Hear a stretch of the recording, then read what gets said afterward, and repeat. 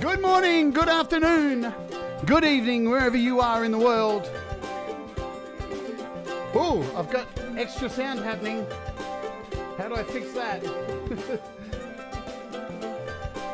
My name's Jade. This is How to App on iOS. And it's the interview day. And we have on the show Russ Double Eight Eight Nine.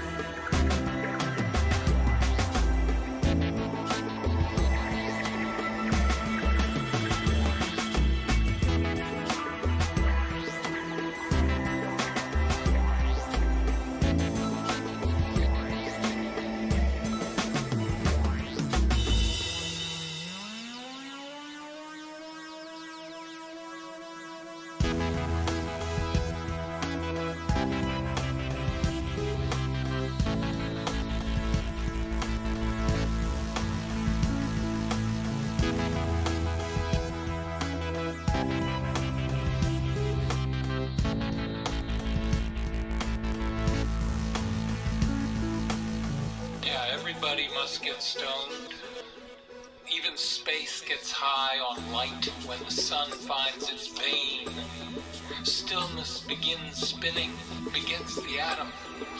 Hemlocks and cedars lit from their roots up. Underground mycelium, fix of golden mushrooms. Earth wobbles off her axis, but this dizziness isn't her fault. Blame God, the first pusher of all that moves. In the beginning, angels passed out cups of this stuff at the feast where we can see the galaxies. Now we nod in a fuzz of stars, a quantum snow of bliss. Oh, we're drifting nuclei, connected by dilated gazes. We've learned to mingle our roots like a giant fungus.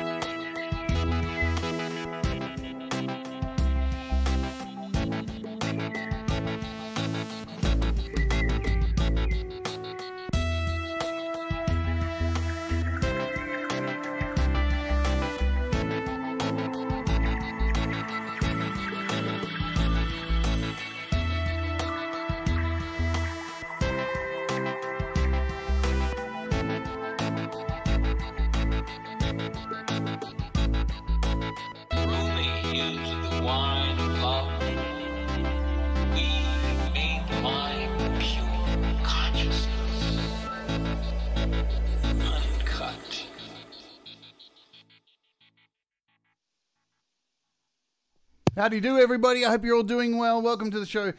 That was oh oh, hang on a minute. What's going on? Jesus, YouTube, get your crap together.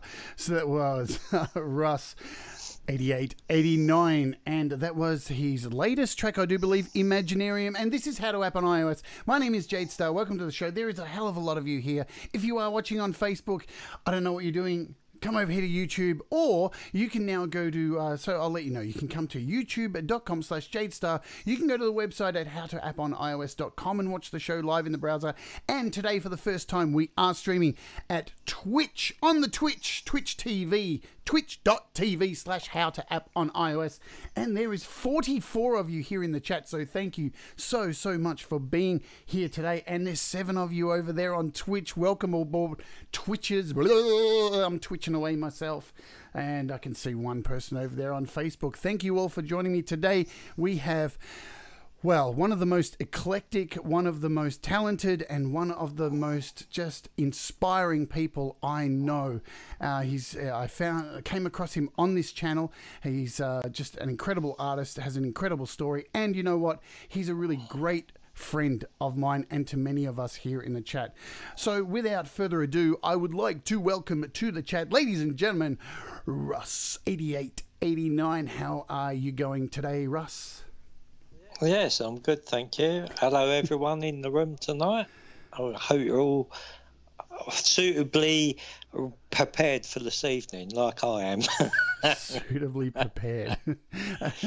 are you, are you controlling your language tonight, Russ? No, I just want to say if you're offended by shit, cunt, bollocks, fuck it, I, I would leave now. We're off and racing, folks. Welcome, my friend. Firstly, I, I just want to thank you so much for you know taking the time to come out and do this because it's uh, I'm super stoked. As you can tell, I'm excited, man. I'm excited.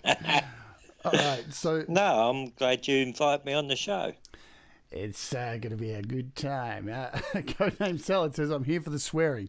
Well, you come to the right fucking place. We're going to get demonetized. Certainly fucking have, mate. We're getting demonetized today, folks. it's all happening. Uh, if you're over on the Twitch, welcome also too. If you're if you're not uh, familiar with the show, what we do here is uh, we talk iOS, how to make music, mental health and well-being, all this kind of stuff, and we interview interview great artists like Russ. So let's get straight to it. I'm going to ask you the first question I ask everybody, Russ. What does music mean to you, Russ? Oh, music means to me. Well, I think um, music means to me it's a timestamp throughout your life. Um, it's responsible for creating memories. Um, you can't really get away from music wherever you go because it's intertwined with everything we do. If you're sitting in your car or you're waiting on the phone or you go to a movie or you're watching a film, um, you know, you can't really get away from music. And I don't know, making my own music is like a journey that you never know where it's going to end up. Mm-hmm. Like, like I like listening to some music. I like lots of all sorts of different music, and you know, it gives me something that really occupies what I do. So, you know, I'm glad of it in that respect that I'm into music because there's not a lot of hobbies I can go and really do now. So I wouldn't be good round the badminton court. So, uh, regarding music, uh, do you recall the music that was played in your house when you were a kid? And did it have an influence on the music that you have made in the past and make now? Not a fucking bit. um, the, the the music that my mum and dad used to listen to was, I don't know, like people like Barbra Streisand Oh, and lovely. Nat King Cole, like basically um, Barry Manilow. Oh, he loves a all the Barry. shit art. All the shit artists I wouldn't listen to. The most exciting thing that used to get played in the car was a bit of ABBA, and that was about as exciting as it got. Oh, got. what a thrill ride. like, and it was only, and the funny thing, like my mum likes country and western and all that, and she was like, "Yeah, but you used to like that song, um, you know, who sang it?" Like, and I was trying to think who'd sung this song, and she went. Oh, it's that country and western song, you know, promise me son. not-" And I know what? I was like, oh, what, that song about gang rape? Oh, wonderful, mum. so, and she's like, what do you mean? I'm like, have you never listened to the words on it? And she's like, no. So I got the Alexa to play the song. And she was like, oh my God, I can't believe I used to play this in the car. a song for mum this Mother's Day. Treat your mum to the best of gang rape. Because that's basically what the song's about, you know? Yeah. Yeah, well, a, a lot of people don't listen to the lyrics, do they? They just they like what they hear. And No, it's got a good tune, you know. uh, you know, you bumble along with it, you know. The eight track flicks on to the next track. You might rewind it again, press it to play again, give it another go. And there's me sitting in the back of the car going, Oh, yeah, can you play that country song again? so, It's a good toe tapper, except for the woman being raped. really, you know, it's it's not really the best kind of lyrics for a song, but there you go. That's country and western for you. It's it's all a bit up and down. Yeah. Yeah, there's a lot of sadness in country and western, and I, I, I always found uh, with country and western, there's always somebody who's been victimised in country and western. You know, it's a, Well, normally the listener.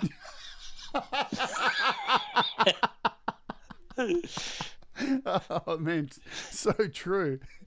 Uh, put a one in the chat. Which I shouldn't really, I shouldn't really say that as my wife loves country and western. Hi, Liz.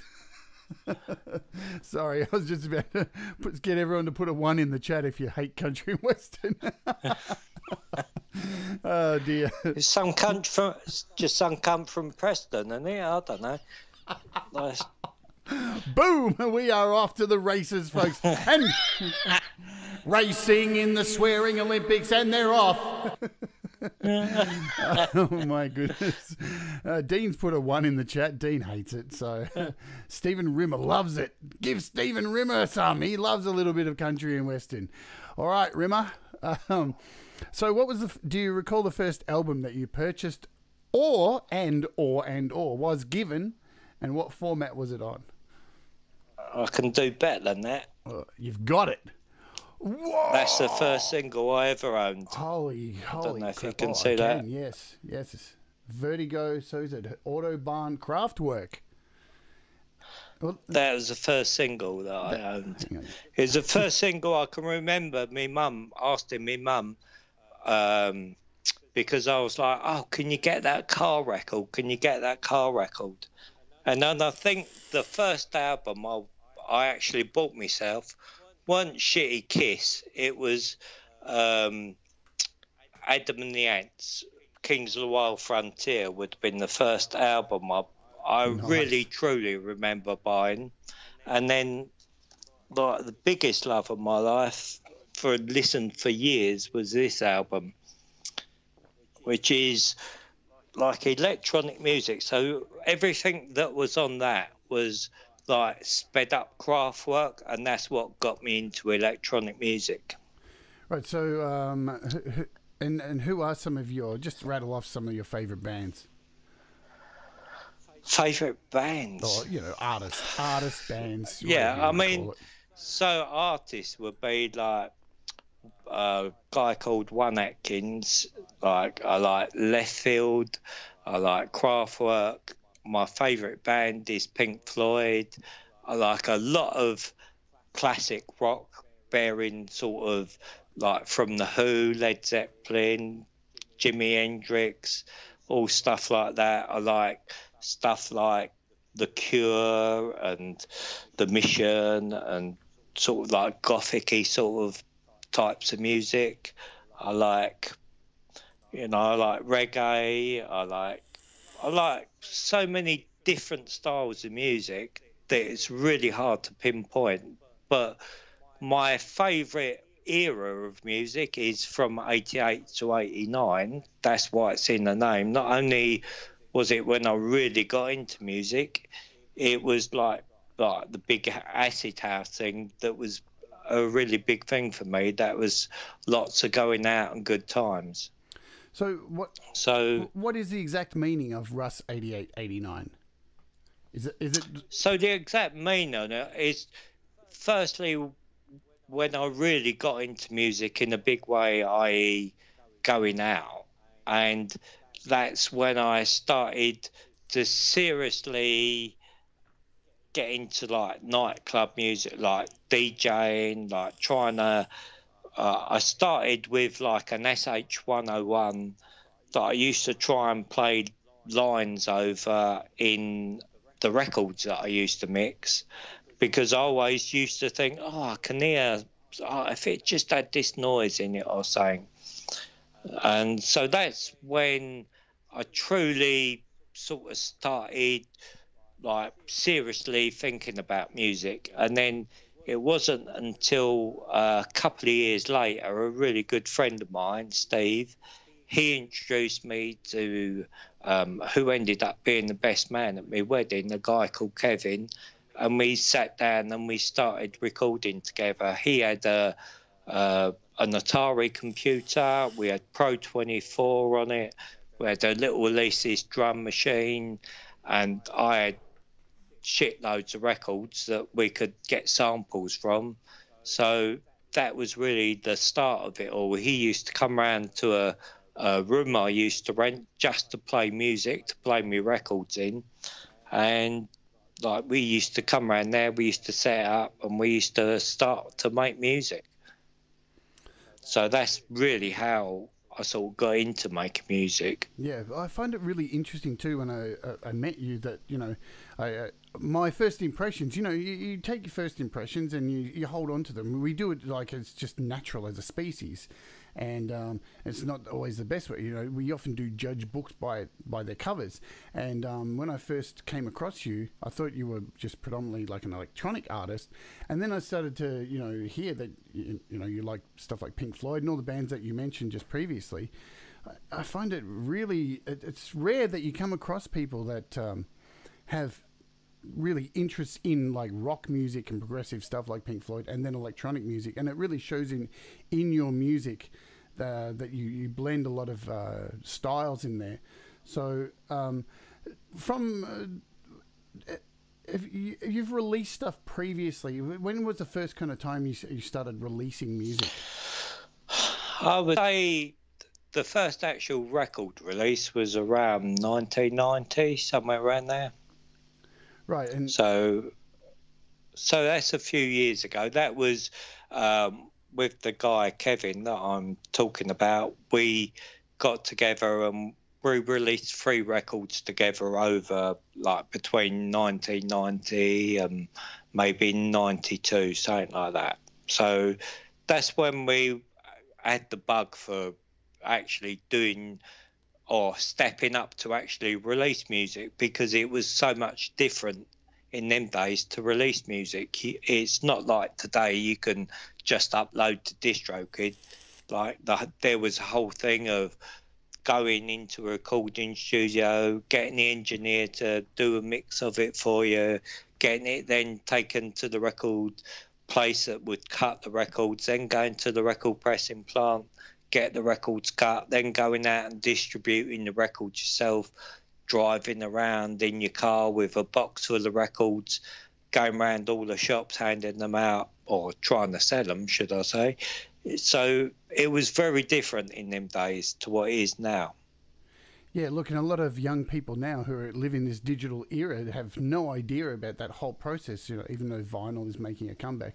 What, what's your opinion on the way the music industry has changed from those days of, um, you know, the, the, whole process? Because it, it was a, a, you know, going into a studio, recording things, uh, uh you know, getting things mastered. You'd send it off somewhere else. You'd send it to a mastering person. They'd send it back. Then you'd hit a, a processing plant what what, you, what is are your thoughts on today's industry with the digital releases compared to the old methods? I think um, it's a lot more accessible to everyone because I was only chatting uh, tonight with my friend Steve about this. I was saying, you know, in in the days that I was doing it, like firstly you had to have a recording studio or you know or means to make the music, which used to be quite a lot of money to buy the keyboards and computer and and now when you can make something on your iPhone which you carry about with you all day and you know make a record and put it up to DistroKid and like, I think that's really really good but it's so so different to the way I come down the road to it and that's why for me personally like the buzz of maybe releasing something digitally isn't really prevalent for me because I couldn't really give a fuck. You know, I've already done it on vinyl, I've done it on CD.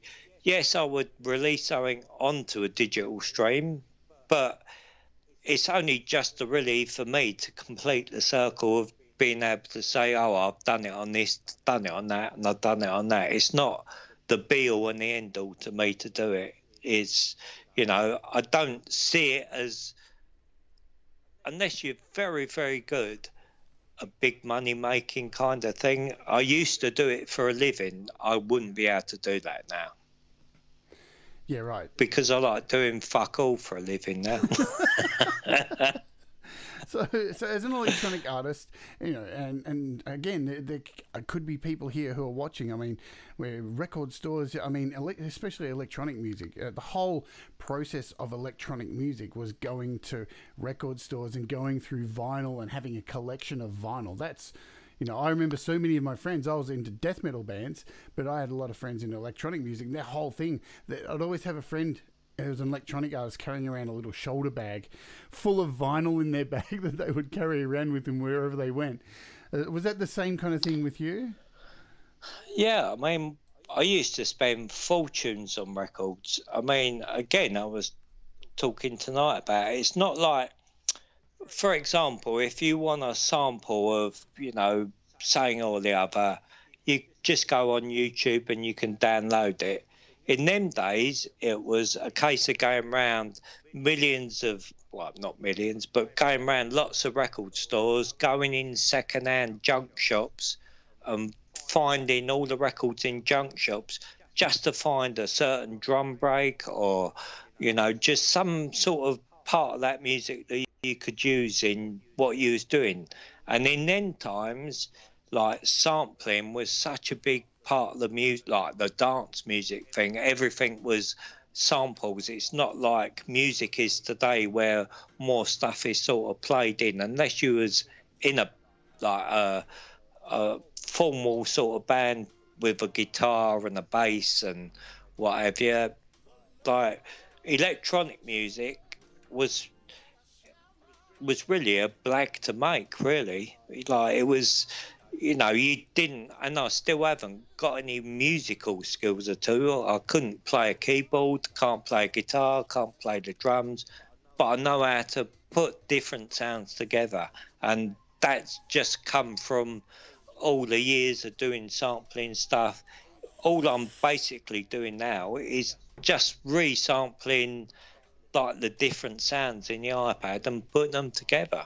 So you know, anyone can really do it. It's not a, a you know, magic thing, circle kind of thing you have to be in.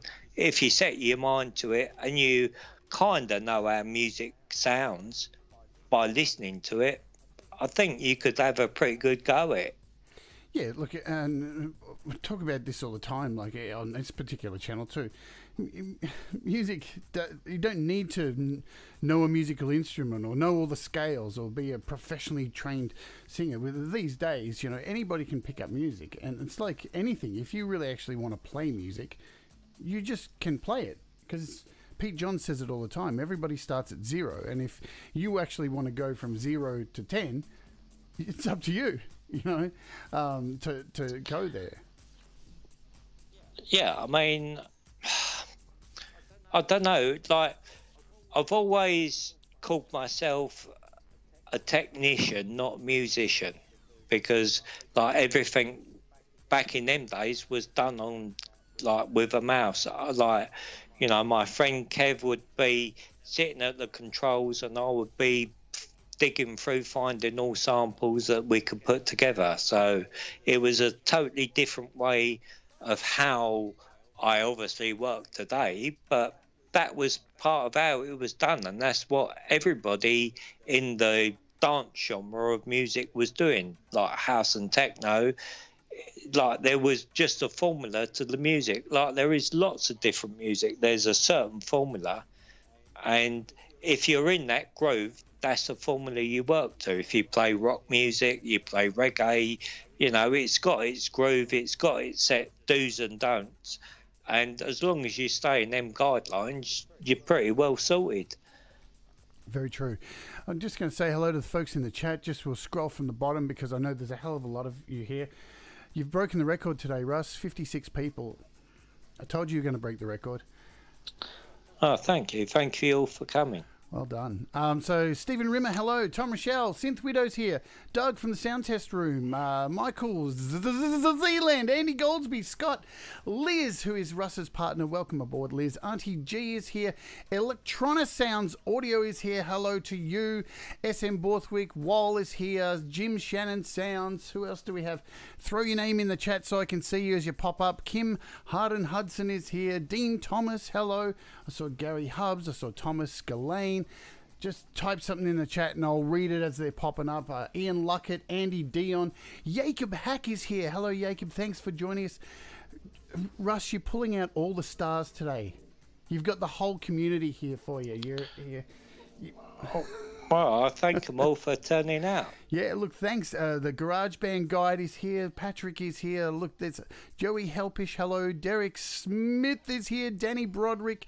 Wow. Globe Flicker. There are so many people there. Thank you so very much. Colin Powell is here. Codename Salad.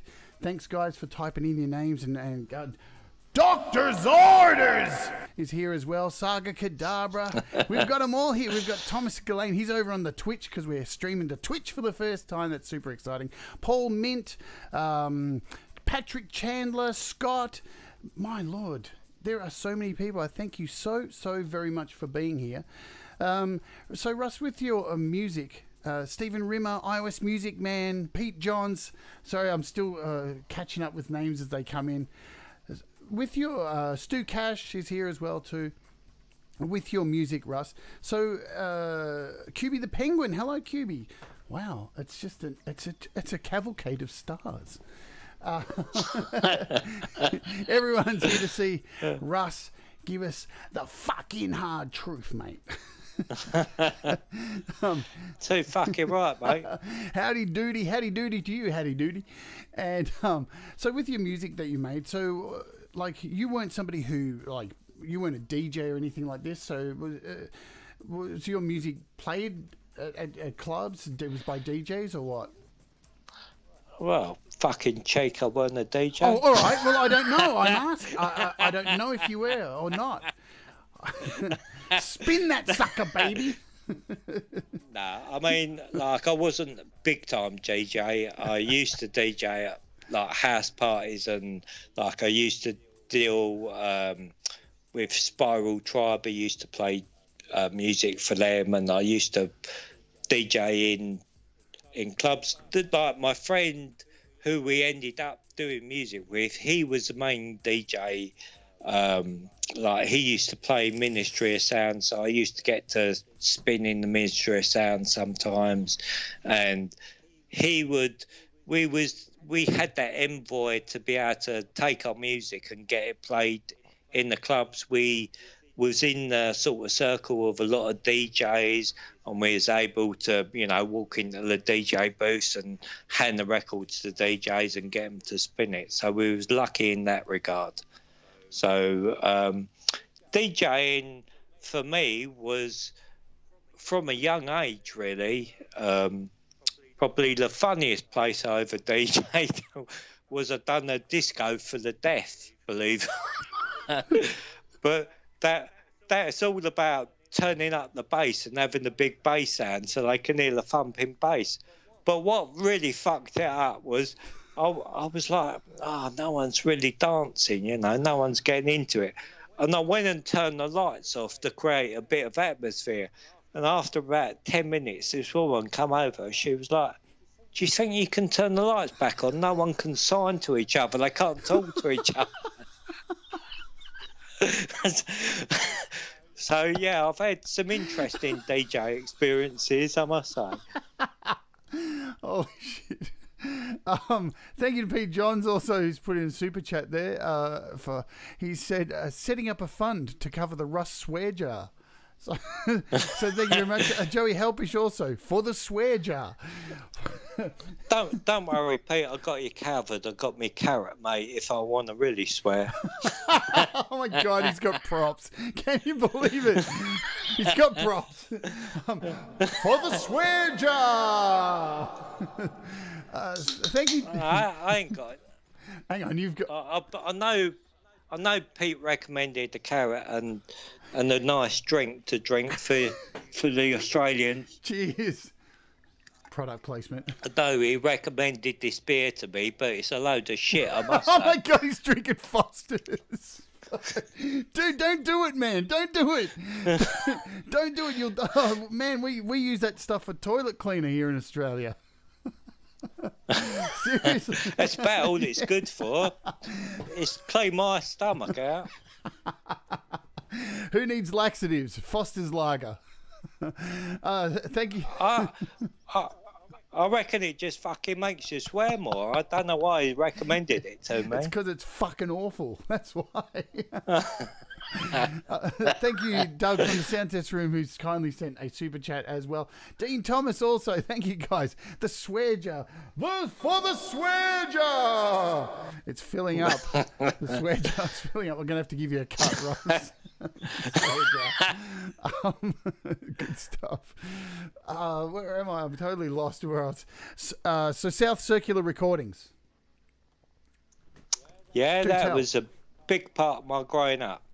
So, South Circular Recordings was myself, my friend Kev, and my friend Matt, who's now living in Berlin, still carrying on DJing. He moved there because the techno scene is now in really Germany, and he still runs a record label and he still DJs. I think he's um, he goes under the name Radio Slave. Yep. So if anyone wants to check his stuff out, he's pretty cool DJ. He does a lot of techno stuff.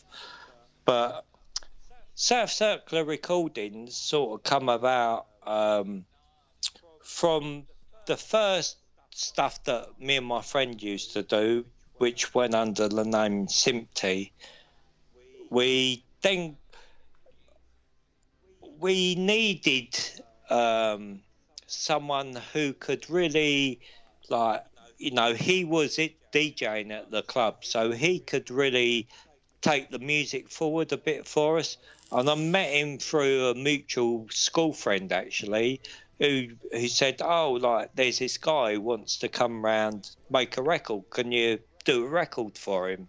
Now me and my friend were like, "Yeah, we got samplers and all all the kit." So so this guy come round, um, who's also a DJ. Um, he went on to be in a performed as a band quite done quite well in America actually called Dirty Vegas.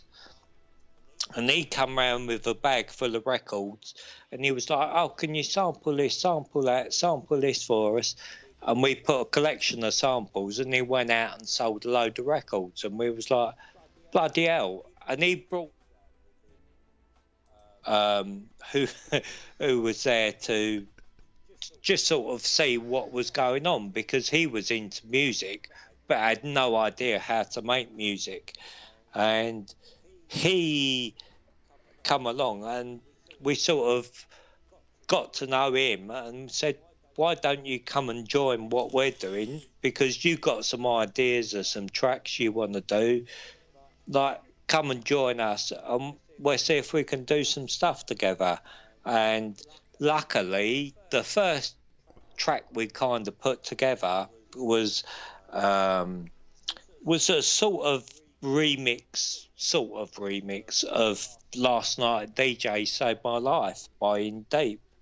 And we took that record and we gave it to Kiss FM DJ, uh, who's called Graham Gold, and he just started slamming it on his radio station.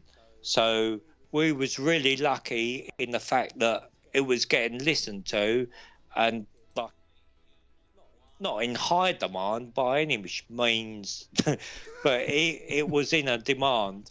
So so, Sorry.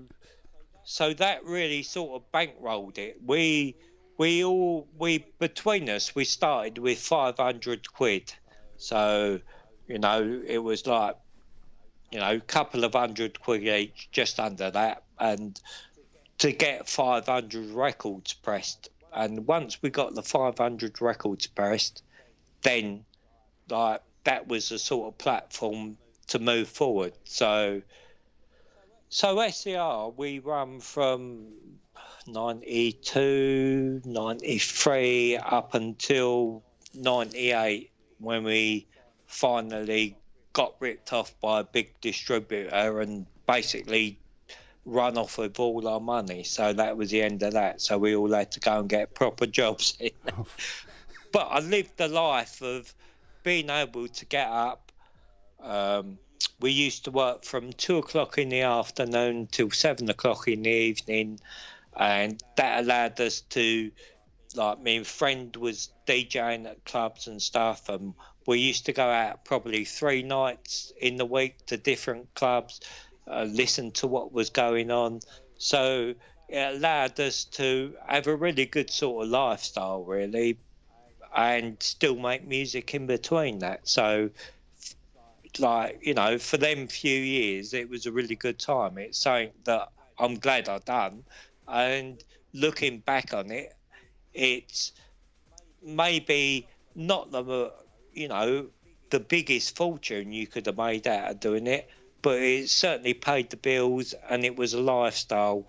And we basically just sort of blagged it all the way through. We was we was really lucky. Um, like i think I think the third release we done, um, we had a guy phone us up from a promotions company, and I was really dubious. He was like, "Oh, why don't you, why don't you come and see us? Like, we reckon we can promote your record for you." And I was like, "Yeah, I don't know," and it was I forget where it was. It was up in like North London. It was nearly where Virgin Records were like their main head office. And again, my friend who was DJing, he knew the guy who was A and R. His name was Rob Manley, I think. He was the A and R guy at Virgin Records, and he was like, "Look, let's go up there. We're we'll go and see what they're saying, and afterwards I'll pop in. I'll see Rob." So we went up there, and again, uh, they sort of said to us, oh look, you know, one of our DJs, Justin Robinson, who's playing for us, is he's playing your record. He really likes it. He's played it to us, and we're like, yeah, no, it's really good. We think we can do something with it, and um, I was like, yeah, okay. And so he said to me, oh, just drop us up 200 records. We're putting all the record mailers that we that we're getting paid to send out, and we just drop your record in with them.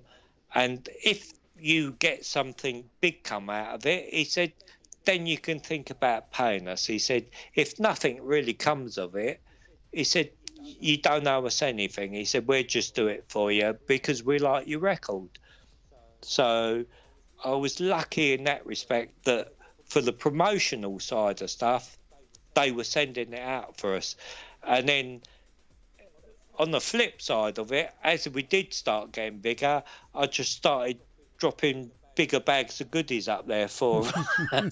so it kept them sweet. So, so, so they was happy and we was happy. So I'm sure you were happy. Like, yeah, no, totally. But again, that was just part of the rock and roll. It, I don't know, you know, it's it's just how business was done back then. Yeah, yeah. I, I feel so much pity for people who missed out on a lot of that era. Like, you know, across all genres of music, you know, so, you know, uh, uh, electronic music, metal, rock. I mean, there were things that were done on the dodge and and uh, and and bands got burnt, people got ripped off, and you know there's a that was the industry, and it's it's kind of sad how things these days have so watered down and not so dangerous anymore. Yeah, I mean, them days you had to go out there and do it. These days you can sit in your room in your house and just do it. You know, although we we had a home recording studio, and it, I mean, it's just, I don't know how to put it, but it was just like a big blag, really, because we would print the records up, we would have uh, um, um, like the phone number on there, we'd have a fax machine, and then we'd get like as as DJs were starting to play the stuff, like at three o'clock in the morning, the phone would ring. You think, who the fuck's that? and it'd be some fax chugging through. It'd be like da da da da da. Like you go downstairs and go, what the fuck's this? And it, it would be like a fax from like Sony or Avex or someone saying, "Oh, can we license your music? Oh, we got this compilation album coming out. Can we fit your music on there?" And we was like, "Yeah, by sure. Send us a contract. We'll read through the contract." Or, or I would say, yeah, for sure. Send us your contract. We'll get our lawyers to look over it for you. And um, so, like, we just used to, whatever the contract they sent us, we would just send it back to them.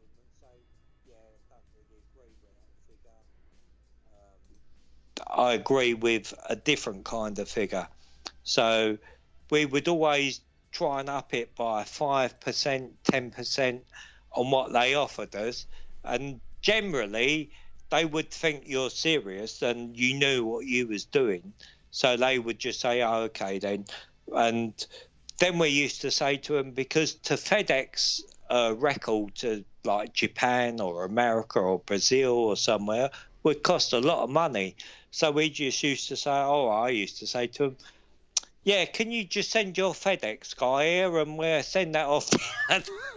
like we we was like, yeah, fuck paying fifty quid to send the FedEx. so so we just blagged it all the way through. We like we um, we people thought that we was if you could have taken the photo of three guys sitting in a room smoking joints all day, pissing about on keyboards they wouldn't have believed it. You know, they wouldn't have taken you seriously. So it that was like the disclosure side of it that I used to deal with. I used to deal with all the sort of like the business end of it, so to speak, or the blagging end of it, so to speak. And you know, Matt would be there thinking, "Oh, this this song works really well in the club. If we made something like this, and my friend Kevin would sit there and he'd be the architect. He'd he'd he'd get it together, and I'd go in and I would like mix with the sounds or be 303s or whatever to to making the sound. But my friend Kev's really the true master of it all because he had the patience to sit there to get the sound perfect Whereas I'll be like, yeah, fuck it, that would do. so, so he was, so he would, between the three of us, my friend Matt also done like the graphic design. So all our record labels he would design. So we had the whole thing in house, and you know we just blagged it all the way through, and you know didn't make a rock and roll like mention living out of it, but we made a living out of it. You know, it was a good time to be had. Absolutely, sounds sounds awesome. And you know, I, was kind of on the opposite scale at the time with uh, metal music, doing the same kind of thing. It was happening across all genres. What we're going to do, uh, we're going to play one of your tracks. Uh, we're going to play.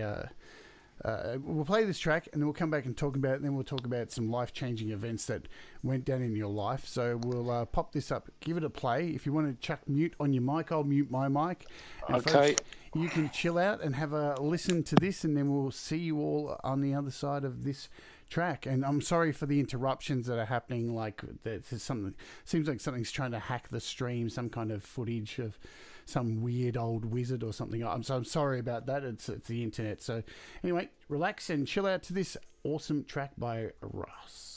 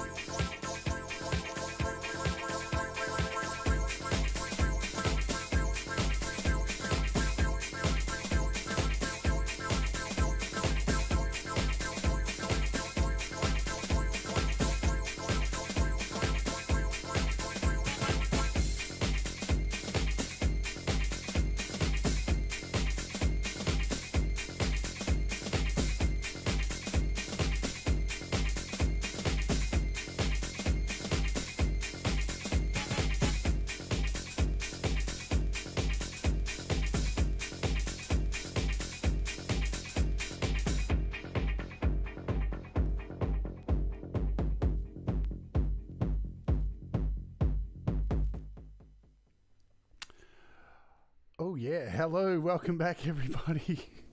I'm so so- Something was pouring. I'm so sorry about that. Something happened to the stream. Uh, I think I've fixed the problem, so we're all good there. Welcome back. So, Russ, uh, that was awesome. Tell us, tell us a bit about that track. Well, I just went and got my hair done. You've inspired Oh my God! me. what the hell happened?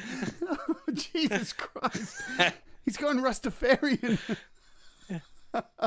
Well, I thought I'd join you. Look, you, I was quite Yeah, inspiring. yeah, yours didn't cost five hundred dollars. I'll bet.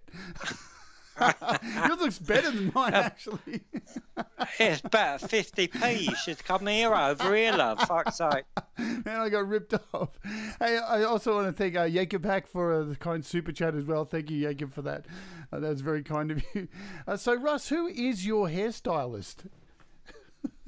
Well, my hairstylist is this person called Amazon. I don't know if you've heard of her. She's pretty good. Like she's very effective, and she comes to order. Yeah, I, I've, I've heard about it. Let me bring her to attention. Hey, Alexa. Everyone's Alexa just went off there. Oh, um, so tell us about that song that we just heard. Um, what deep in the powder? I'll let you make your own mind up. I thought it was a song about when you were a baby and you're recalling, you know, when you may have soiled yourself and a bit of baby powder afterwards. No, am I wrong? No, it's a fucking groovy nineties, mate. All right. uh, all right. So look at that. you look beautiful, by the way. Liz, what do you think in the chat? Thank you. It's a- Is it doing it for you, Liz? well, I know how much Liz would like this. Look. you you look like Fabio at the moment with the way you're playing with your hair. Holy shit. We've gone off the rails, man. All right, um, let's let's let's get a little bit serious if we can. So, I want to talk about the life-changing event that that happened. All right, so, all right, we're, we're going to get a bit. Well, I've got to say that was a right carrot when that happened. I've got to tell you. Yeah, Um, yeah, man. So, Hang on, I've got to take this wig off. Hang on. All right, we'll, we'll cut away to something while you're doing that, just to give you some privacy. Oh look! Oh look! This guy's back. Holy shit! Who is, who is this guy? He keeps waving at me. Hey, welcome! Whoa! What a difference, man! What a difference! I need some more of this shit. Don't drink too much of that stuff, man. You're gonna. It's bad for you. It's gonna hurt. It's gonna hurt in the morning. It's like a. It's like a dodgy vindaloo. um, Thomas Glenn says, "Wait a sec. That was a wig." uh, thank you all still for. Pull your wig. They always say pull your wig back. Next, we're going to be talking about Sticky Vicky. uh, so anyway, I like her mate Blue Tack Betty first. So what do you what do you think about Sticky Vicky, Russ? Well, I tell you what, I know where she could put that.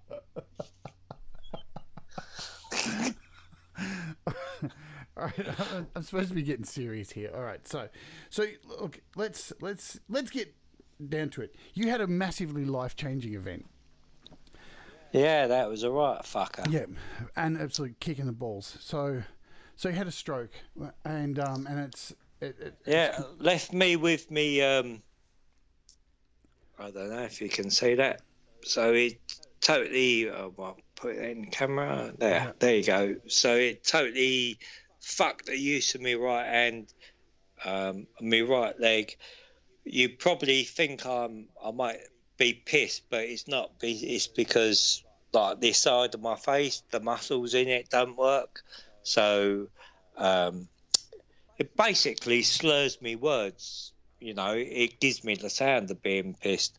And um, um, when it first happened, uh, like I couldn't hardly ever like talk at all. Like, you know, I was like,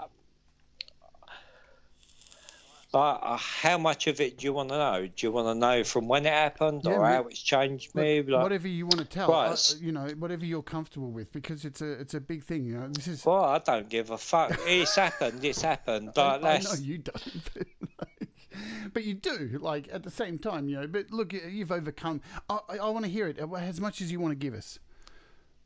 I mean, So, I mean, so- the start yeah. of it, I was, I was just sitting on my bed watching the American Grand Prix, quite happy, and I was like, God, I feel a bit dizzy, and I went up to go for a piss, and like I basically collapsed on the floor, and like I was laying on the floor thinking, God, something's not right here. Like, why's my legs stopped working? Like, what's going on here? Now, at the time this was happening, I had my mobile phone was on the bed, but I got fitted sheets, so I couldn't pull the phone towards me to make a phone call.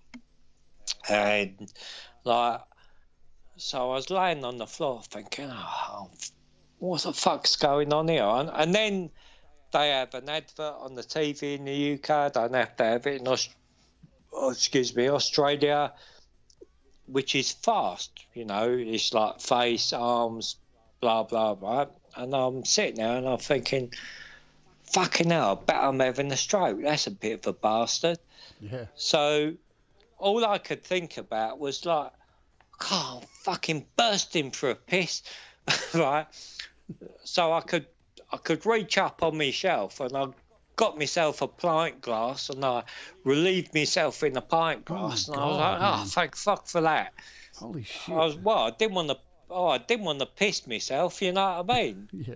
I couldn't get up and wash my hands.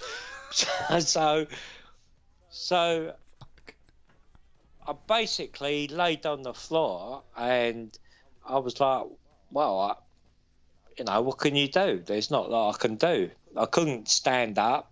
I couldn't walk. Like, like I was upstairs, so I couldn't, I couldn't get to my phone. Uh, I was like, shit, that's a bit of a fucker. So I basically pulled the pillow off my bed and just went asleep on the floor. So I slept for a few hours on the floor, and I suppose it must have been about I don't know. The racing was on. It was about half twelve, one o'clock, and I woke up about half five in the morning, and I was like, ah shit. No, it's not gone away. I still can't walk and I can't use my arm. Oh, that's a fucker. And like somehow I managed to muster the power to get myself back up onto the bed. And like once I got back onto the bed, then I could get out. But the problem then was I couldn't really speak. So, you know, that was a bit of a problem. So I got taken from where I live in London, in South London, to like the specialist hospital for like neurological stuff. Um, but the window on a stroke is about an hour. They can like relieve the clot within an hour, but because I've been laying on the floor for the night, it sort of went past that point of them really being able to do something for you. So, so I'm I'm pretty fucked up, right? So I'm I'm laying in the hospital bed, and like you know, there's people who've had strokes, and like the general sort of A and E that you get in hospitals, and like like I can hear the nurse coming down the thing, and she's and she's talking like I can like because obviously there's just a curtain, so I can hear her saying to the woman next door, "Yeah, no, it's all right. We need to do this. Like it's you know it, we don't know if your throat's closed up or what muscles are working in your throat. It's so we can feed you." So they was trying to put a feeding tube into them, and I was so she come in to me, and I'm like, "You fuck off!" I'm like, "There's no way you're sticking that tube down my throat. And she's like, oh no, it's just a procedure. It's something we got to do. I said, oh, like, now my mum was in the hospital with me, and like, she's got, now my poor mum, like, she's going, oh, I don't think he's really going to have that. And I'm like, fucking, fucking, crap, fucking ain't, fucking, uh, I'm going mad. I'm like, I'm not having that. So they took me from there to um, to be X-rayed. I suppose they do like a scan on the brain, and so I'm laying down on this gurney. Now it's probably nine o'clock in the morning by now, and I'm so thirsty. So I said to the nurse, "Oh, can you get us a drink?"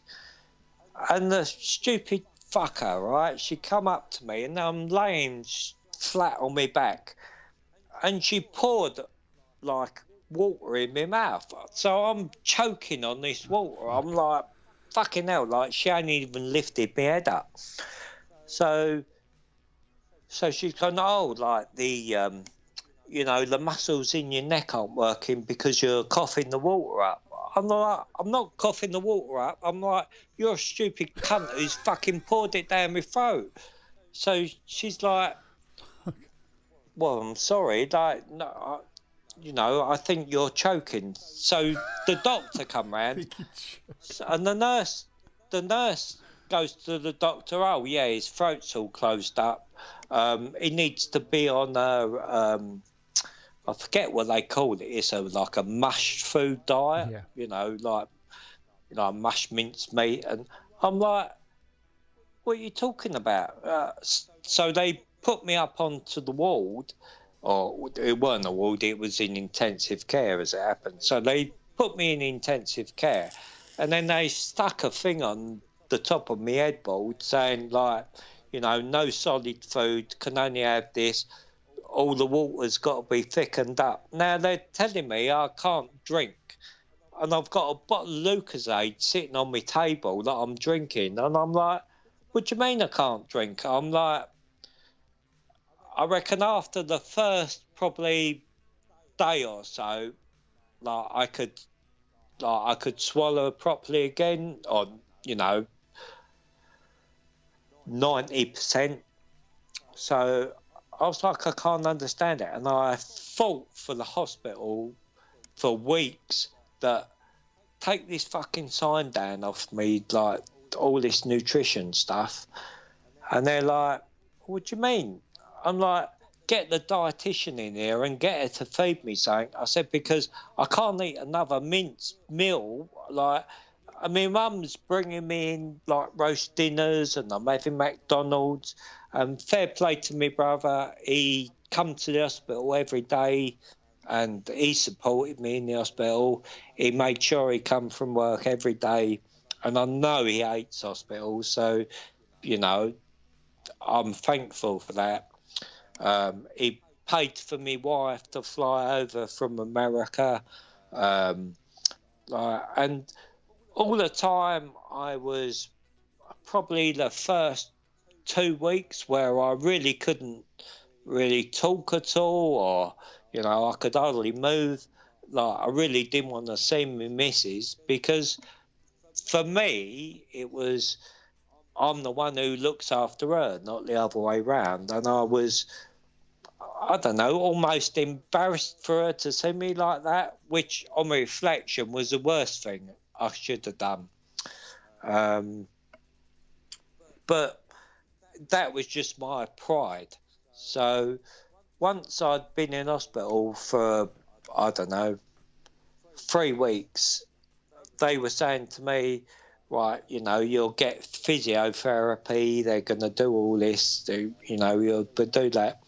Now, when I was in hospital, um, I insisted that every day they took me at least to the shower and to the toilet. They used to come round with a bedpan, and I'd be like, "Nope, not to, not going on it."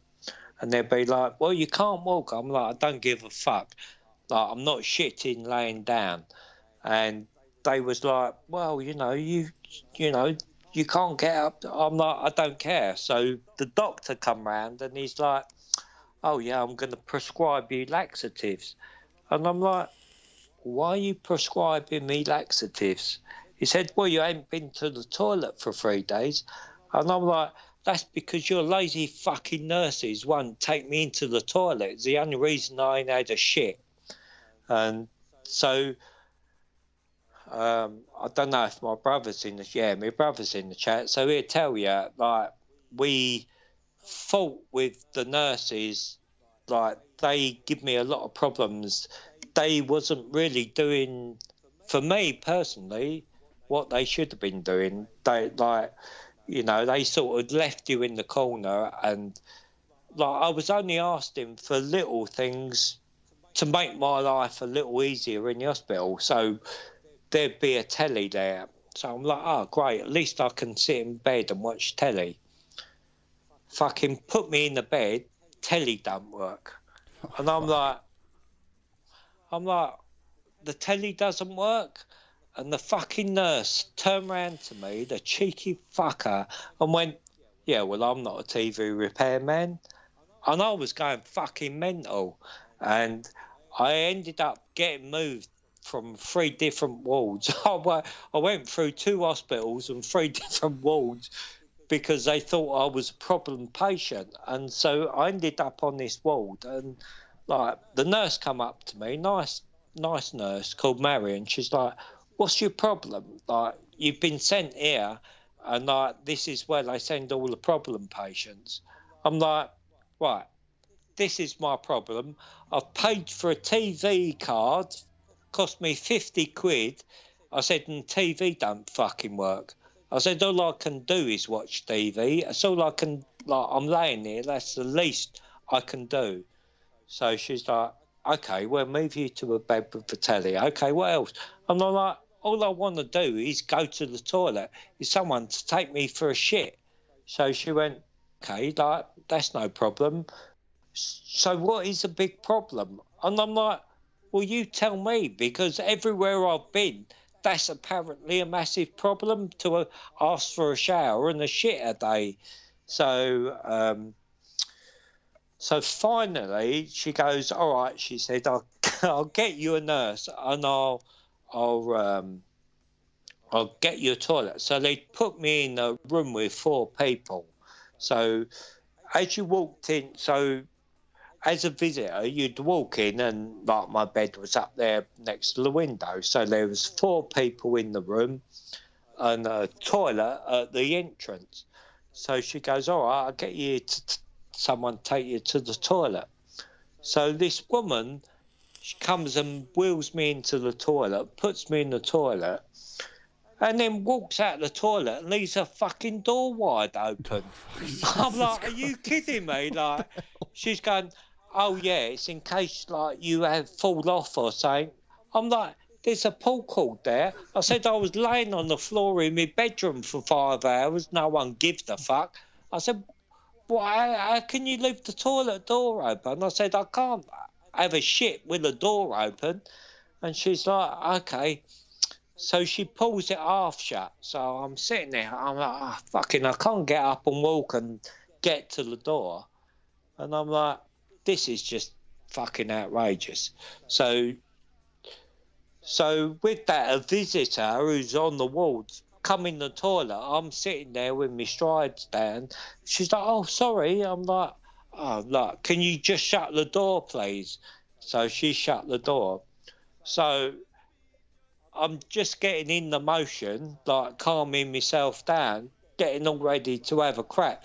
And then the nurse bursts in, Are you all right in there? I'm like, Oh, for fuck's sake, like, just leave me alone. Let me have a shit. Fucking hell, like. You want to take a photo of so, it as well, bitch?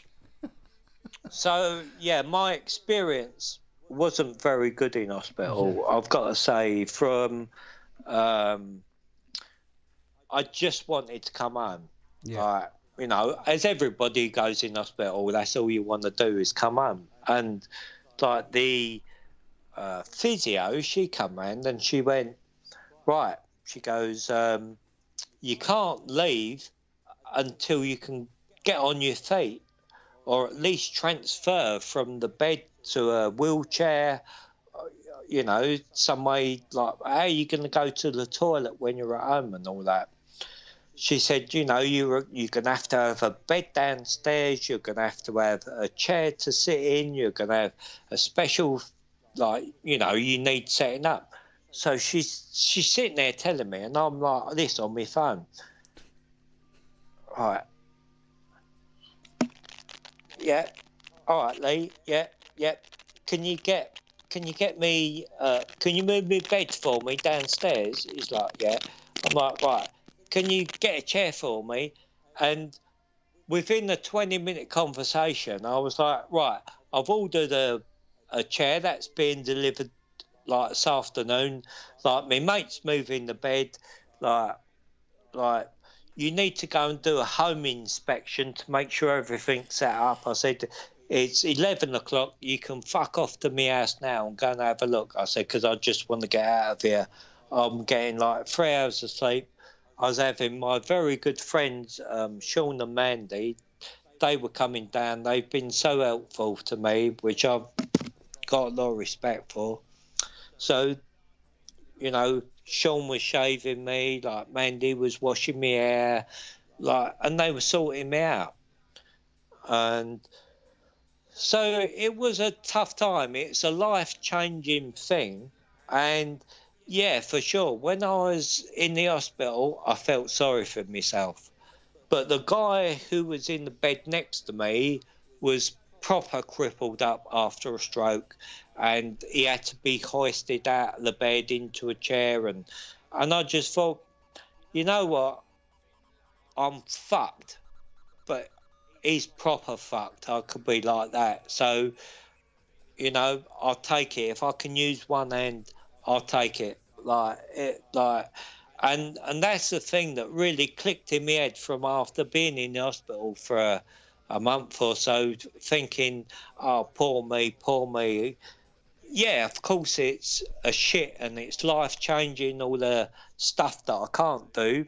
But I'm like, all right, I can't do that, I can't do this, I can't do that. But what can I do? And, you know, the one thing I can do is use this finger and make music on the iPad. So that's my saving grace. Wow, man. It's, it's such, you know, through all the shit, you know, I, I, I just think that I think uh, Tom Tom uh, Rochelle wrote in the chat. I think there a lot of hospitals just aren't used to people fighting back, you know. And and I saw it when I was in hospital when I, was really sick.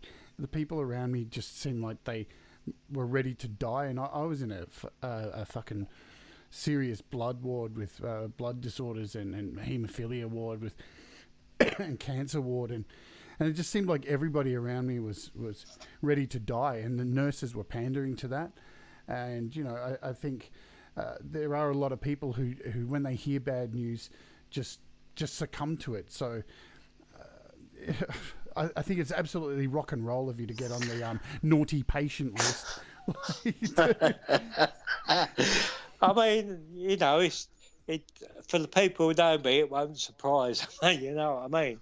I mean, like, you know, and I say this seriously, the only bit of normality I had in the hospital was when I got my iPad and I could watch Doing the sound test from 8 o'clock overnight.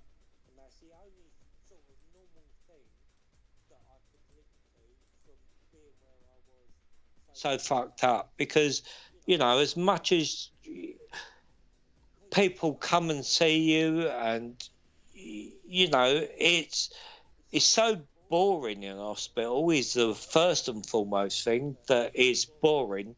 So you'd wait there all day, you know, and I'd be waiting. Unfortunately, the fucking cleaner would come in my room at five o'clock in the morning, bang the window wide open, bearing in mind it was November in the UK, so it was cold. She'd wipe the floor, switch all the lights on in the ward, and every day I'd say to her, Excuse me, can you just shut the window when you finish and turn the lights off?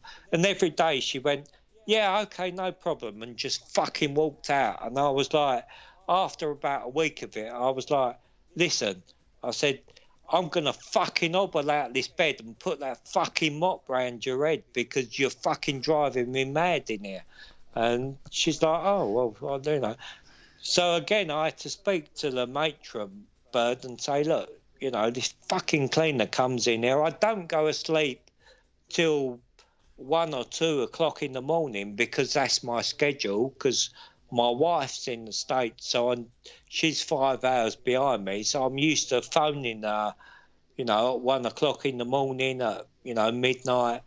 So my schedule hadn't changed. I was still, you know, I was working as an electrician, so getting up in the morning you know, at six o'clock was normal thing for me to do. So I was only sleeping like three or four hours a night. I was like, I've just got to get home and get some sleep. This is driving me fucking mad in here. Yeah.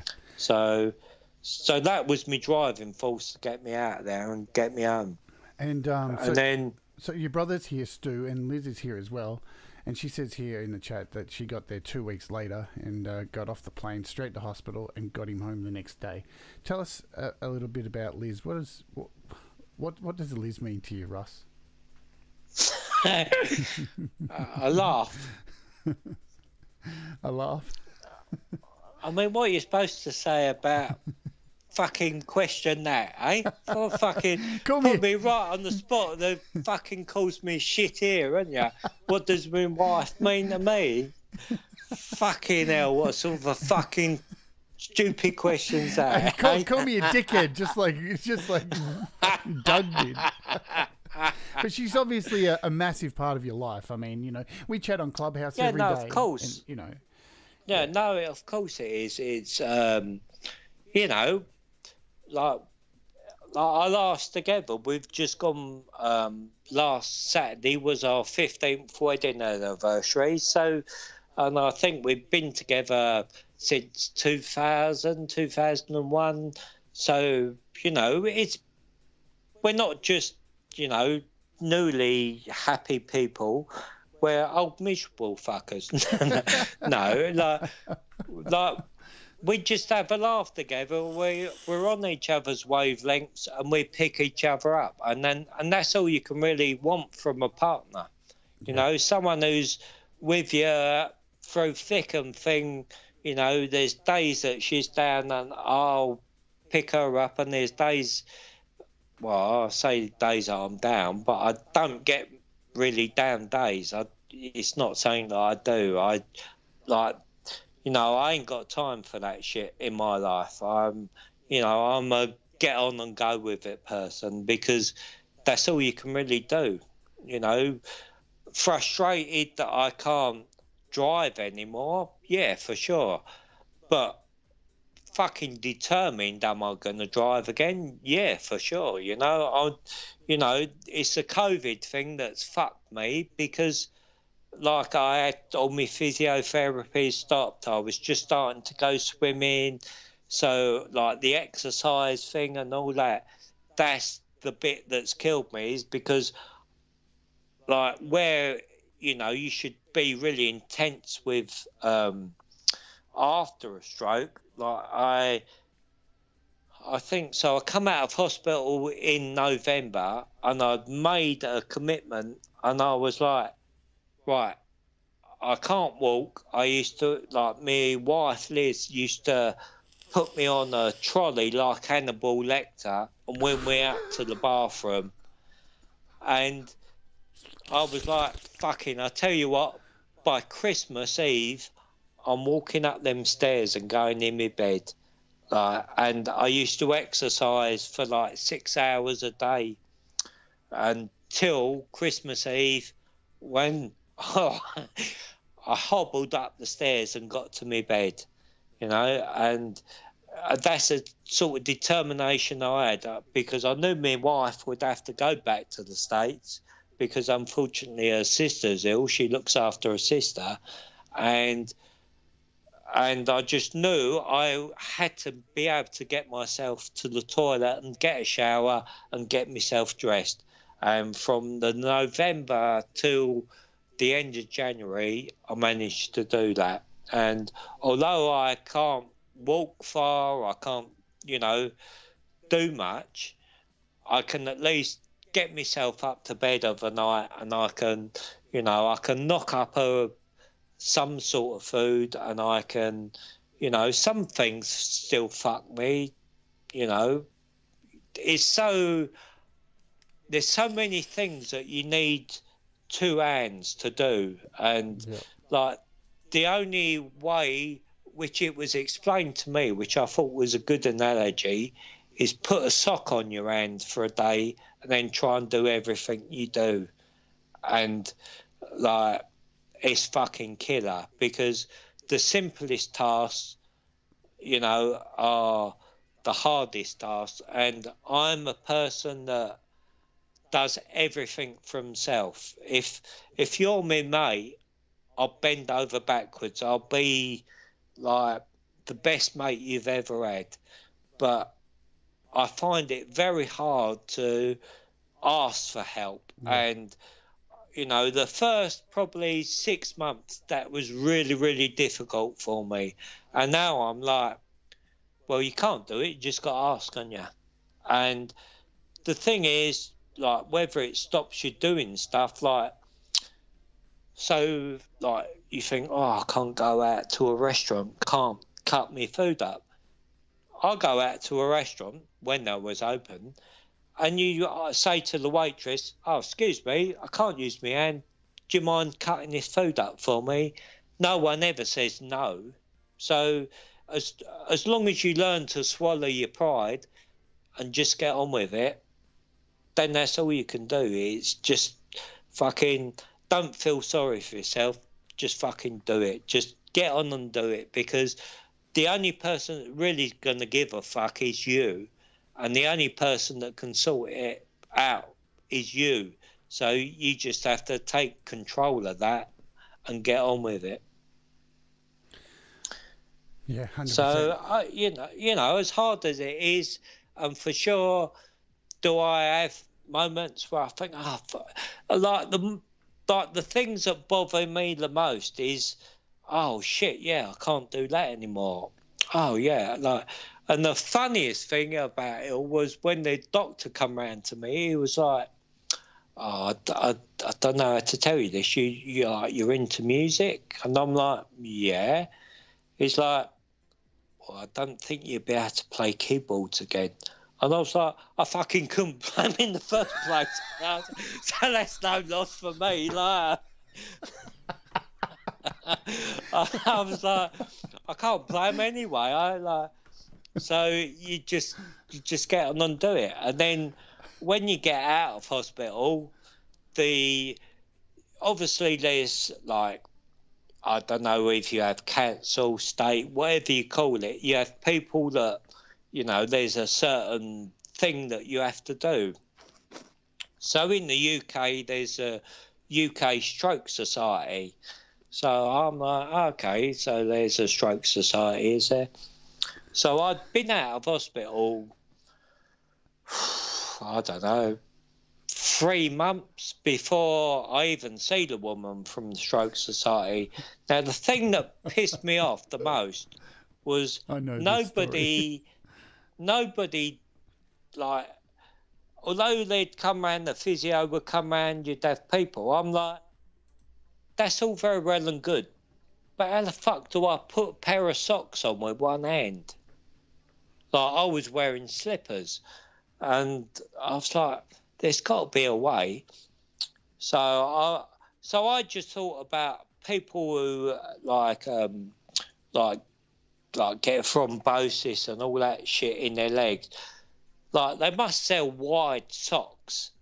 So you know, I look online, find some wide socks, and then all of a sudden, oh great, I can put my socks on.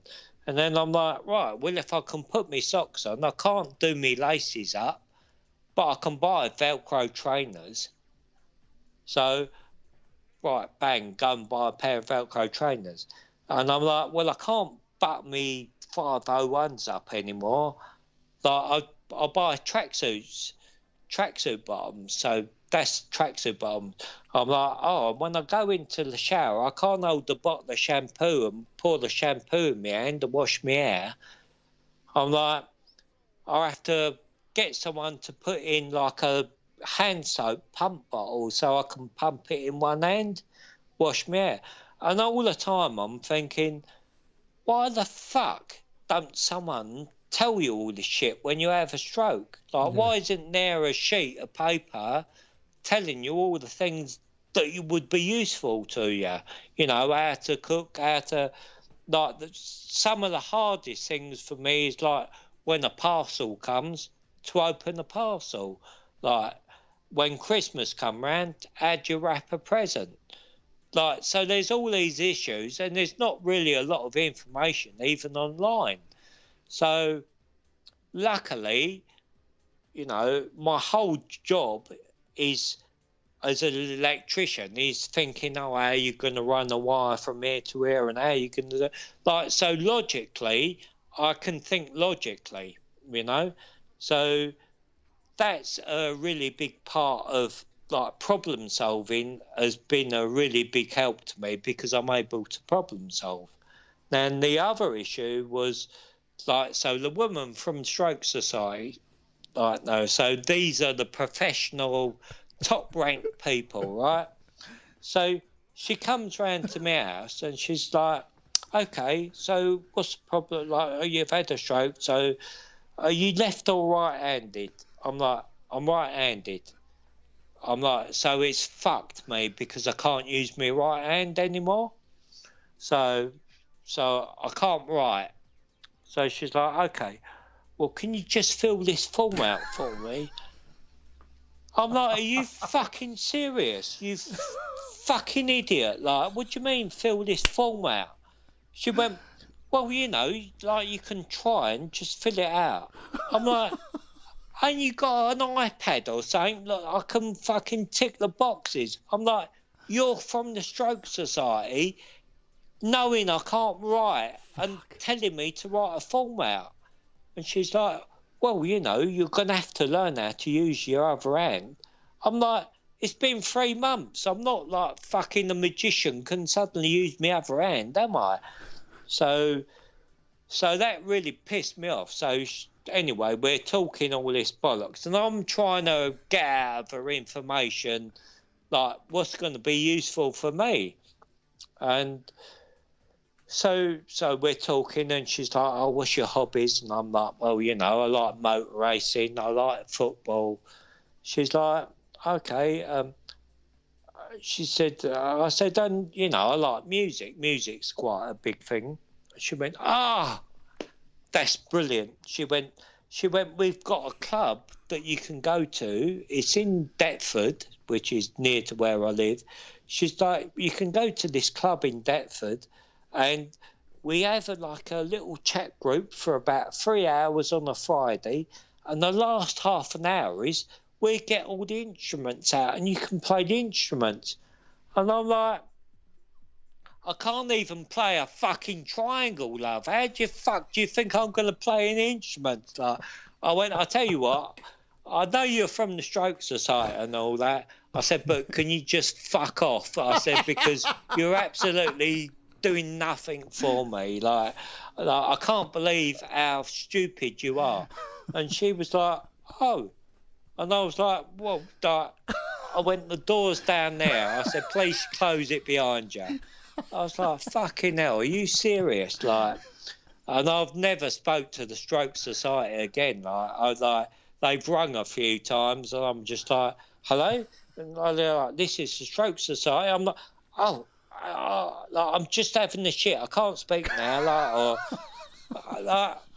I'm like, fucking hell, these people like give you no help whatsoever. It's Fuck quite me. unbelievable. Like, so you're out there on your own, and that's what I learned is you're on your own.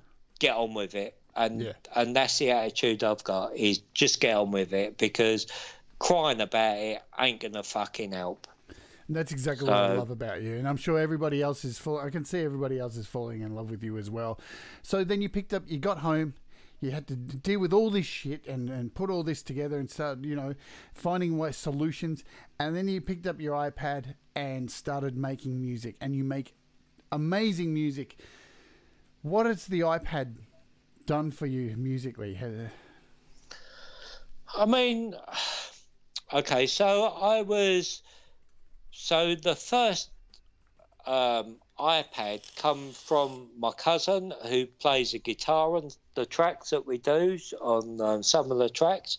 So he come round to my house with his iPad and he was like, "Oh, have a look at this. This is really good." And he had the Korg iKaossilator on it, and I was now this is before my stroke, okay? So I was like, bloody hell! Like you can just move your finger around on the screen and play something. And for me, who isn't a keyboard player, I was like, fucking hell, this is magic.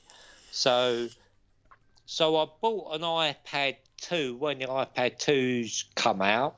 Uh, so I bought a new iPad 2 and I bought like the regular stuff that would have been around then. I bought um, Nano Studio, the original one, which for me was like my old recording studio using like Cubase, that sort of setup. Like it's more of a sampler based um, thing rather than like GarageBand is for live instruments. So that suited my workflow because I work with a lot of samples, whether I make my own samples and use them, but that that's a really big thing for me. And Animoog was out, I think, um, probably Animoog, like, um, there was a few older apps. There was, um, can't think of what it's called. It was the Loopy was another app. So there was Loopy, OM Guitar, um, Sunrizer was about and so the track that you opened up with tonight, um, um, Imaginarium, I made using them apps. That's probably the first real track I made on the iPad. So that's like a, a bit of a full circle. And then obviously now there's so many more. So I've been using iOS for a few years. So now I had to swap fingers to use the iOS, but I could still make music using like me left hand using me left finger, and so whether or not um, I think my wife will agree with you. I, I used to make house and techno music. That's what I used to make. So I've changed from making house and techno to making more sort of soundscapey, some ambient, some you know the sort of stuff that I'm putting on my YouTube channel now, which is a bit different, and, and like she actually likes what I'm making now, rather than she'd like I play her a banging techno tune and she'd be like, "Oh yeah, that's nice," but now she's like, "Oh fucking hell, that's good. That sounds like you know." Like something that she'd actually listen to. So, whether the stroke has changed the part of my brain that I use to make music and be more creative, I don't know. That's a possibility. So, you know, um, I'm just now in the thing of I'll give this a go. And I try and make different lots of music because I'm inspired by lots of different music, you know. So it's something that I try to do is just make like all different sorts of sounds, and you know, I enjoy jumping into different genres of music and just trying it. You know, if it don't work out, it doesn't work out, but. I try to mix it up a little bit and have a go at all sorts of stuff. So so the iPad's been a godsend because that's really the only thing that I can sit there and do by myself. I ain't asked anyone to help me. I can put my headphones on my head and get on with it. Yeah, look, uh, I say it often. In, in my life, music has saved my life many times, and I think uh, uh, you're the absolute living embodiment of that. That that uh, a living proof of that. That music really can get you through hard times, you know. And I'm sure there's many of us in the chat here who, like, without music, we wouldn't really be here. You hear a lot of people say it all the time, you know, without music, I, w- I, w- I wouldn't want to exist sometimes, you know, um, because it, it's it saves us in so many ways with our, our feelings, helps us get through tough times, helps us celebrate good times.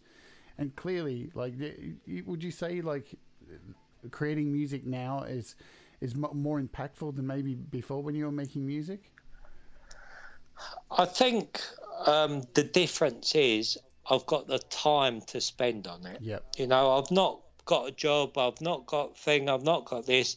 You know, like I can uh, set myself up, and I sort of give myself not goals, but um, I've I've mentioned to you before. So this year, instead of working on like six tracks and doing a bit on this and getting fed up, going to do something else, I just start on the track and I work from it from the start to the end until it's finished. Move on to the next one because on my old iPad, I've got heaps of tracks that I've started done, you know, like eight, 16 bars or something, and then just got bored with it. You know, if it isn't working, if it if the flow's not there, it's not there. It's hard to like get on with that, and I find it harder to go back to stuff and pick up on it and move on. So this year I decided that's it. I'm not going to do that anymore. I'm just going to pick on the track, work on that track until it's finished, then move on to the next one. And that that's really helped in me personally because you know it, it, it gives closure to something and then then the next thing you work on is always exciting and new and you're all into it. So rather than going back and thinking oh yeah what can i you know it takes me about a week to do a track. And uh, after if i've been working on it for maybe two days and i'm not feeling it i just get rid of it because if it if it if i can't hear the next sound in the song, I just leave it and move on. Yep. You know, I just bin the whole thing, scrap the whole whatever's been going on, and just get on with working with the next project. And like you know, I work with my cousin now, and the same thing for him, which which I understand. I can send him a track, and if he's not feeling it, he's like, yeah, I can't really put guitar on that. And at first, I was thinking, oh man, but it's the same thing. You can't put your art to somebody else's just because you're told to. You got to be, you know, with music, it's a feeling, and if you're not feeling it, there's no point trying to slog it out because yes, you can get a result out of it, but if it's if it's not fluid, it's very difficult. It, like it's you know, it's a hard job to get to the end, or you kind of rush it, or so I just sooner now just stick to the one project at a time and give myself a goal. I think um, the last goal I've given myself was like preparing like like a set of songs 12 13 new songs for the music night on the sound test room so that's happening on monday that's the next sort of goal of set of music I set myself to do. So I've accomplished that. I've got enough material there that I can put a video out every Monday on YouTube, and that's been my goal for this year is to try and finish something, do a video for it, and release it on the Monday on YouTube. And whether I can do that all year, I don't know because I'm running out of free footage. But that that's the goal to to try and do that. Whether I use Visibel or whatever, but I want to try and do something every week and have a result by the end of the week and put it out. So I've got um, like a not a back catalogue, but I've got some tracks in that are sitting there waiting to go, which and now allows me. I've got myself a month off to try and learn some of the new apps that have been sitting there that I've bought and not had a good chance to look at yet.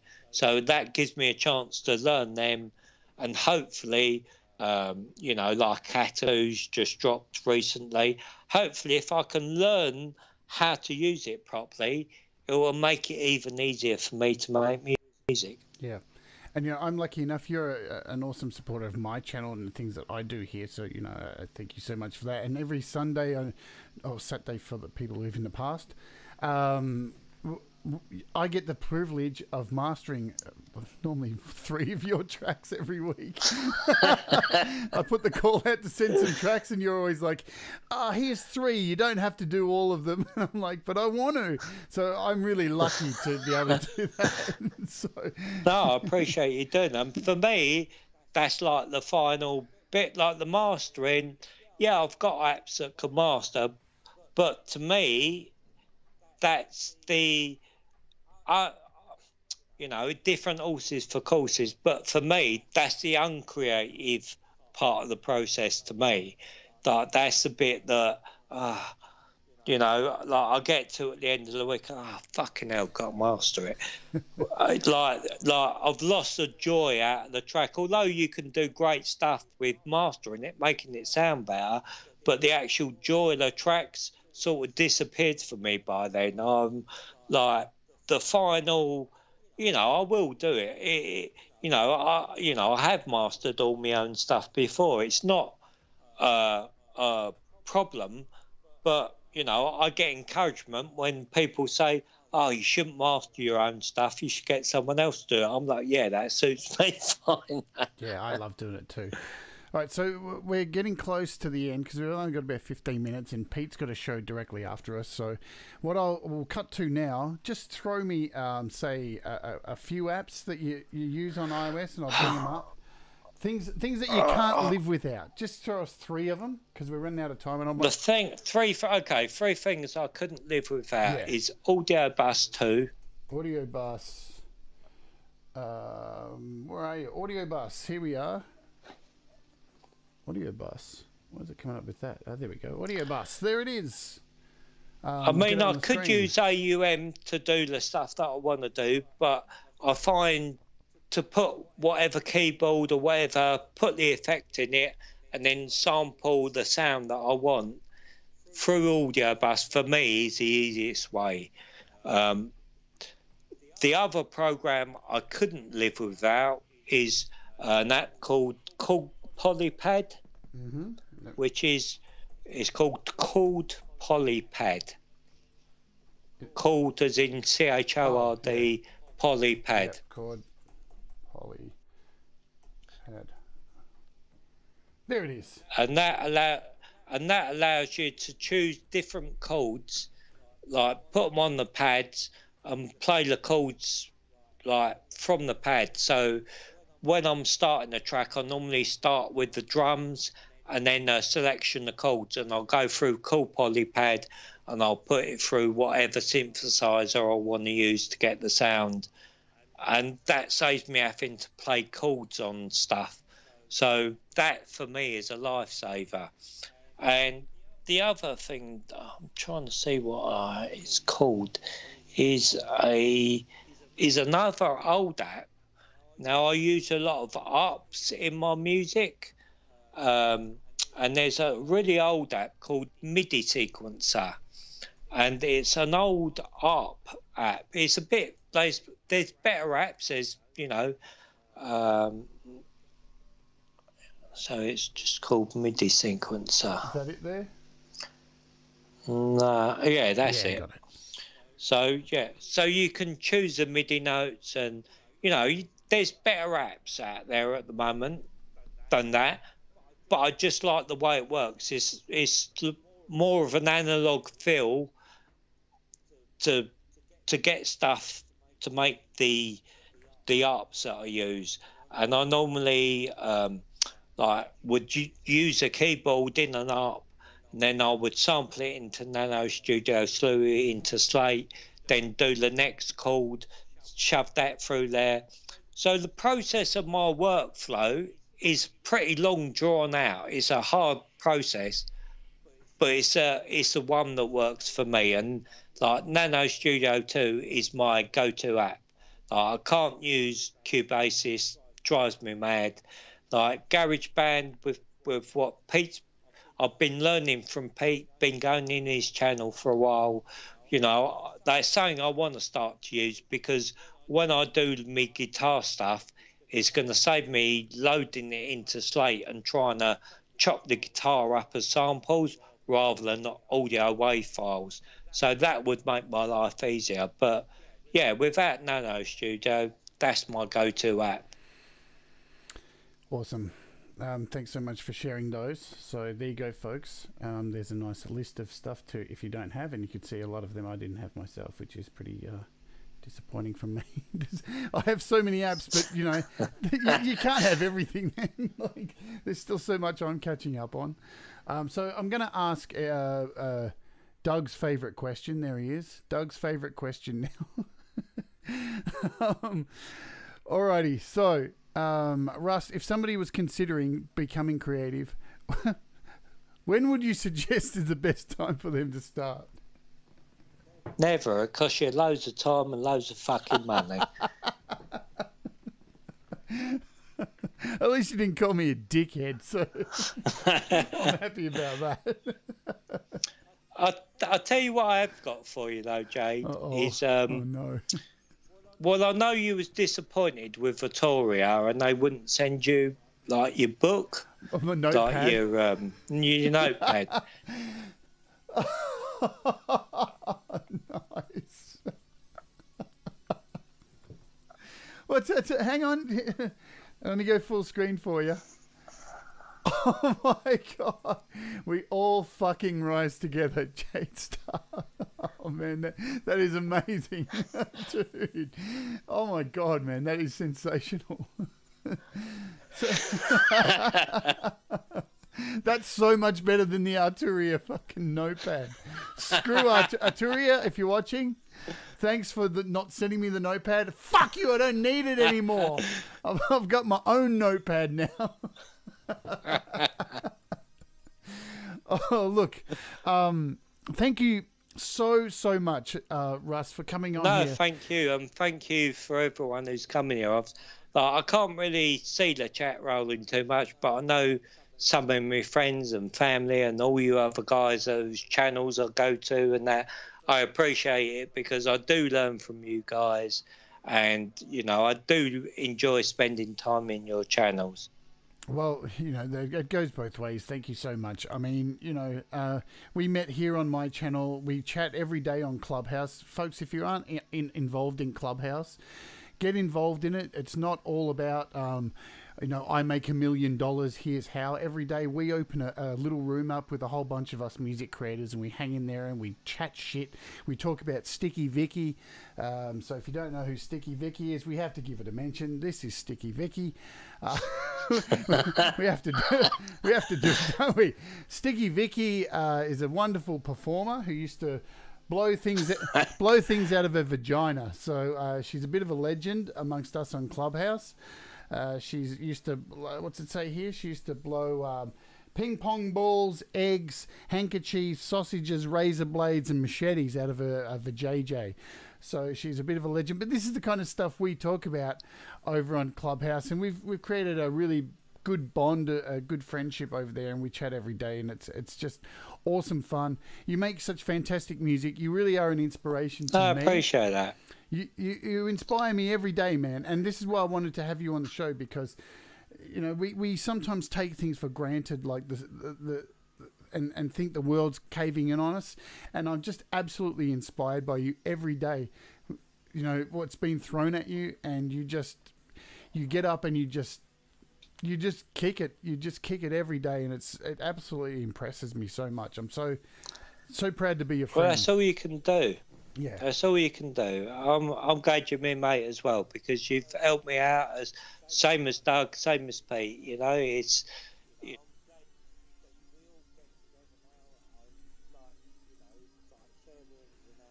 because it's good. It's nice, you know. Yeah. And like I've got a lot of friends uh, that I've made through the channels. You know, Tom, Baba, and you know all these people that are, are there every day that we're chatting, Gary. You know, there's like Stu and Andy, who incidentally I want to say I've seen so many bands. The only band I want to see now is Indigo Sunsets. straight. straight. Let's hope when everything opens up, we all get to see them live. So, all right, folks. Um, I want to remind you all. So on Monday, I think it's Monday your time for for your stream with Doug. Uh, yeah, Monday at eight o'clock UK. Yeah, Monday, 8 p.m. UK. Doug is streaming um, Russ's music, so make sure you remember that and get over there. I'll be there. We'll all be there. Um, Pete's got a stream up next on uh, Studio Live today, so he's doing a busking jam. So if you want to head over there. And before we go, I have to do this. I can't forget. So I, I, I nearly forgotten. I just looked at my sheet, so you'll just have to bear. I nearly, I normally always forget, and you know this, but I just remembered because we've got a giveaway I have to do. so we have to do the bloody giveaway, man. So look, luckily there was only nine people. Normally it's like thirty odd people. But only nine people entered for fractal bits. So let's do the magic thing. We've got four copies of this to give away. Let's do it nice and quick. Who's the winners? Number nine is Bonnie Tyler. Bonnie Tyler's the winner. Bonnie Tyler. Let me go up here. I don't have it on the screen, do I? There we go. Um, let's go to this screen so you can see everything. Uh, small screen. There we go. So Bonnie Taylor was the first winner. Let's generate another number. Who else? Number four, Globe Flicker, who's in the chat. Well done, Globe Flicker. You win a copy of of uh, Fractal Bits. Uh, let's do another one. We got four copies. Number one, iOS Music Man. Hey man, you missed out on the other one, but you won this one. So congrats. And the last one, is it going to be Russ? Oh, it's number nine. It's already been done. Come on, Russ. Seven. Russ wins. Look at that. Everyone's a winner, baby. That's the truth. Uh. Well done, Russ. So not only have you come on the show, you absolutely won the prize as well. So you deserve, you deserve it, man. And you can see we're not cheating, folks. All right. Um, well, thanks, and thanks to the other winners. Congratulations. yeah, congrats to everybody. So what we're going to do now, we are going to go out with one of your tracks. And um, once again, thank you for being on here. We're going to play India, which is uh, an Okay, thanks for everyone for turning up tonight. I appreciate that. Yeah, thank you, thank you all so much. So this is India by Russ double eight eight nine. All the, his links are in the description. Go subscribe to him on uh, YouTube if you haven't already, because if you haven't, you're mad. All right, go and do that. And um, this is India. I'll see you all again tomorrow for another show. Thank you so much for all being here. You broke the record, folks. Russ got more people here than Heinbach and Jordan Rudess. You've smashed the record, man. You are the champion. Love you so. you you did it, man. I told you you were going to do it. I'm the lampion, not the champion. All right, folks. Have a fantastic day. We'll see you over at Pete's. And uh, adios, amigos. Be good to each other. Keep making mistakes and do the things that make you happy. We shall see you. Thanks, everyone. Bye bye. Adios. And remember to mute your mic, Russ. nice one. Fucking joking, and you're going to all over it. Fuck you up. Alrighty, see you later, folks. Oh, I'm, I'm all over the place now. Here we go. Uh, full screen and yeah.